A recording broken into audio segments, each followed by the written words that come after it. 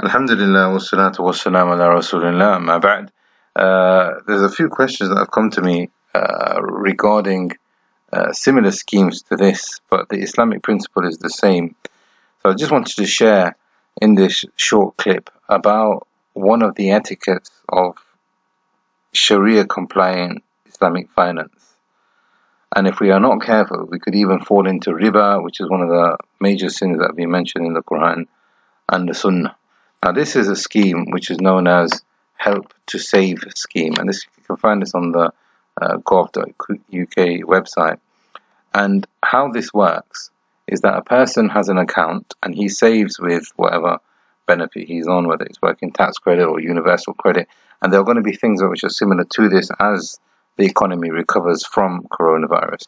And what they're saying is that if you've got some kind of savings from your benefits, what you can do is you can then put it into your savings account, and for every single pound or penny or whatever it is, uh, you will get a bonus of more money in return. Now, this might sound like a very good idea. So if you think if you've got like hundred pounds saved, two hundred pounds, a thousand pounds saved, you put it into your uh, Gov account. For every single pound, they will give you fifty pence back. Now, this doesn't sound like if there's anything wrong with it. However, I wanted to share this fatwa here by one of our Sheikh, Sheikh Abdul Rahman ibn Nasr Barak, may Allah preserve him. And he draws a very important distinction between depositing money and loaning money according to Islamic finance.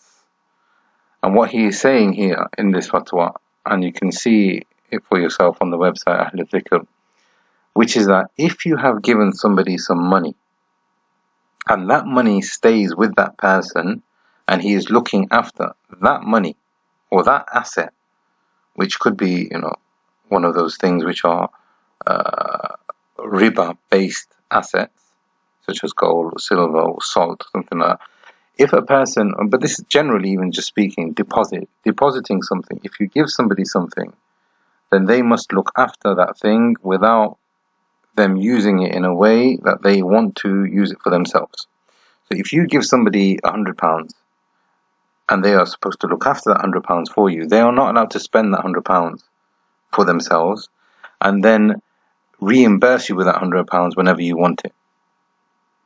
That is not permissible in the sense of it being a deposit. However, if a person gives hundred pounds and then says, "Listen, I'm going to put hundred pounds in my account," I realise that that hundred pound is not actually going in a box which has my name on it. You're going to spend it in a way that you think, but I have the ability to withdraw that one hundred pounds whenever I want. That takes the ruling as a loan. And there is a very important distinction now if we go back to this. If a person deposits money into his account, bank account or savings account, wherever, even if it's a Gov account, if that money is not going to sit, which is not going to sit, if that money is not going to sit in a box with your name on it, then it takes the ruling as a loan. So if you've given a thousand and you get back 1,500 or even 1,001, that is riba because it is a loan that has benefited. It's money for money.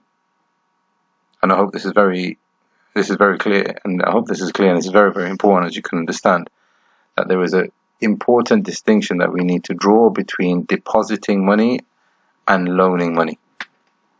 We ask Allah to facilitate for us our affairs, and Allah blesses us in everything that He gives to us. هذا والله أعلم وصلى الله على نبينا محمد